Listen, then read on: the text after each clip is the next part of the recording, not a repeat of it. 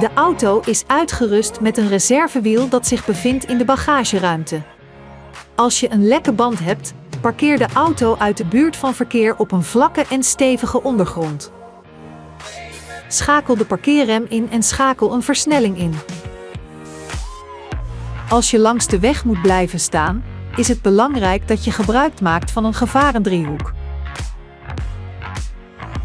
Open de bagageruimte om toegang te krijgen tot het reservewiel. Haal de losse bodemplaat omhoog en plaats deze tegen de rugleuning van de achterbank.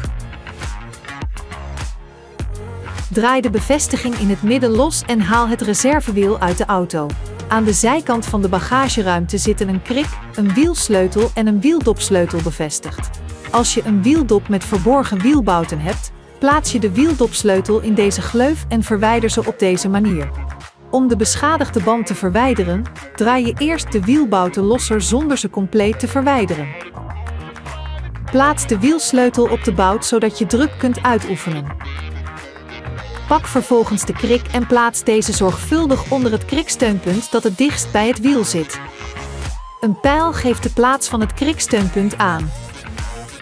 Begin de krik handmatig te draaien en let erop dat de kop correct in het kriksteunpunt zit. Draai de hendel een paar slagen om het wiel van de grond te tillen.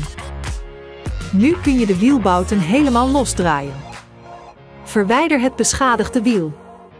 Plaats het reservewiel op de naaf en draai het wiel om de bevestigingsgaten van het wiel in lijn te brengen met die op de naaf. Plaats dan de wielbouten terug en draai ze aan. Zorg dat het wiel mooi vlak tegen de naaf ligt. Laat de krik zakken. Zodra het wiel op de grond staat, draai je de bouten stevig aan.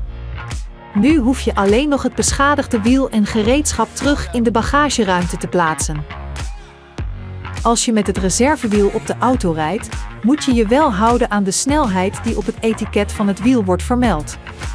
Het reservewiel is alleen bedoeld voor tijdelijk gebruik en moet zo snel mogelijk vervangen worden.